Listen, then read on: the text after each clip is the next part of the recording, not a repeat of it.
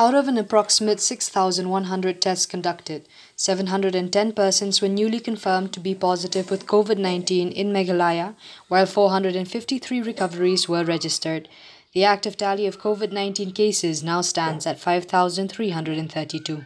East Khasi Hills alone reported 330 fresh infections, closely followed by West Garo Hills with 109 reports.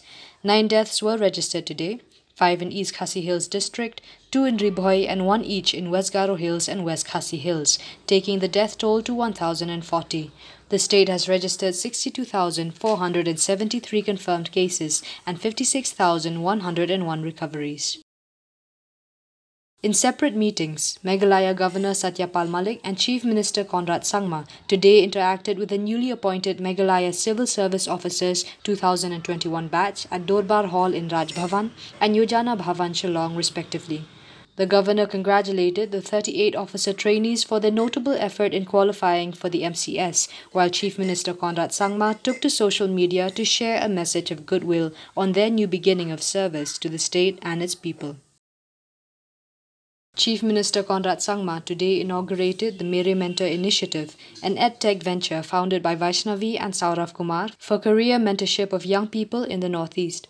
The digital platform for career counseling in India reportedly leverages technology and human resources to make career guidance easy and caters to school and college students as well as working professionals.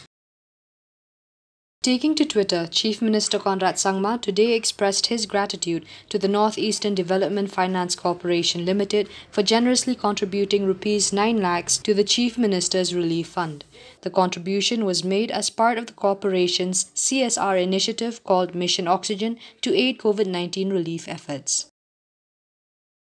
According to news reports, three regional committees will be formed by the state government to hold consultations with different stakeholders in the state and submit ground level reports as part of initiation of discussions towards finding an amicable solution to the interstate boundary issue with Assam.